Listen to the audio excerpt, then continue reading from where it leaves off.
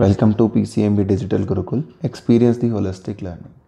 Today we are going to talk about a very important thing कि actual में second round जो है UP का, उसकी कट ऑफ़ क्या रह सकती है, क्या रहने वाली है अगर हम इसकी बात करते हैं तो अब हमारे लिए बहुत मुश्किल नहीं है, क्योंकि आज हमारे लिए वैकेंट सीट आ गई है हमने अभी तक आप लोगों के लिए कट ऑफ़ नहीं डाली थी, क्योंकि हमें इंतज़ार था कि फ़ाइनल सीट्स कितनी खाली हैं, वो एक बार पता चल जाए तो वो हमें अभी पता चल गई हैं कि यूपी के अंदर जो NEET U G twenty twenty है, उसके अंदर कितनी सीटें बची हुई हैं।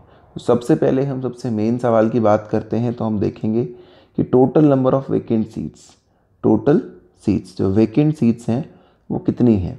तो टोटल सीट्स हैं 294 तो 294 सीट्स वेकेंट हैं, ये आपको क्लियर हो गया। फिर आपको क्लियर होना चाहिए कि किंग जॉर्ज मेडिकल कॉलेज में कितनी है, या किसमें कितनी है तो टोटल सीटें हैं ये तो किसका सीट मैट्रिक्स क्या कहेंगे इसको बेटा? इसको कहेंगे हम लोग कि इसका सीट मैट्रिक्स क्या है?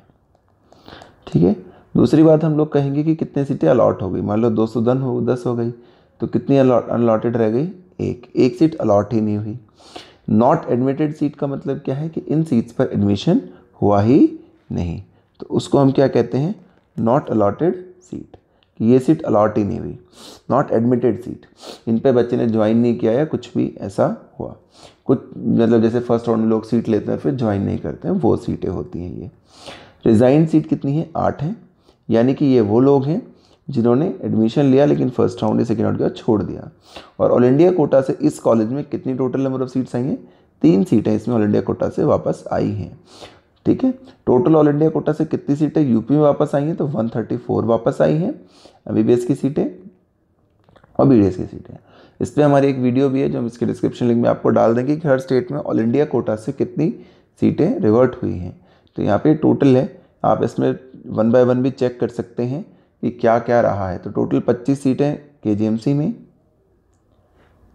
गणेश शंकर, जो कानपुर है, जो अच्छा कॉलेज है, दूसरे नंबर पे आता है, उसमें पैंतीस सीटें। फिर नौ सीटें, फिर अट्ठारह सीटें, फिर नौ सीटें। इस तरीके से मेरठ में नौ।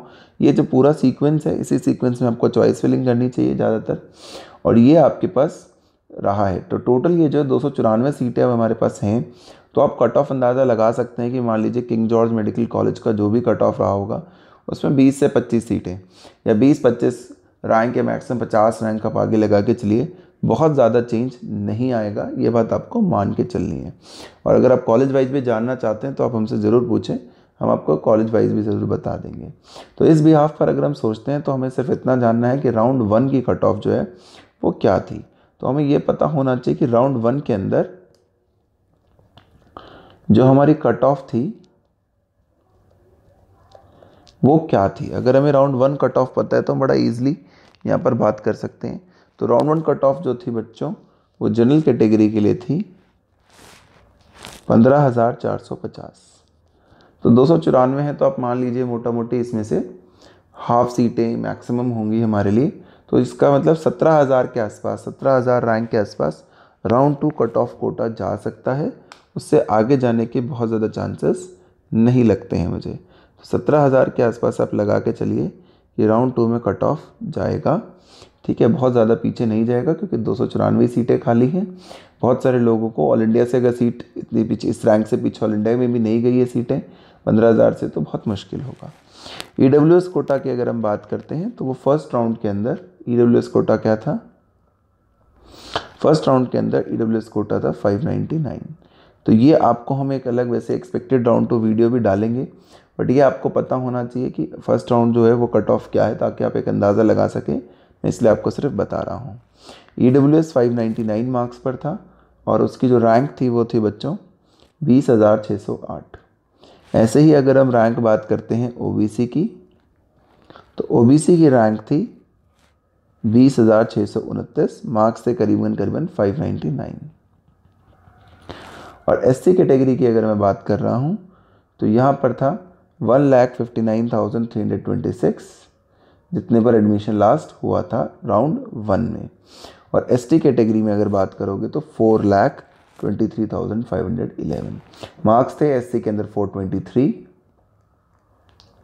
और एस टी के अंदर जो मार्क्स थे हमारे, वो थे टू फोर्टी फाइव तो भाई ये आपको पता होना चाहिए दोस्तों कि क्या कट ऑफ़ रही है किसमें कितनी सीटें खाली हैं।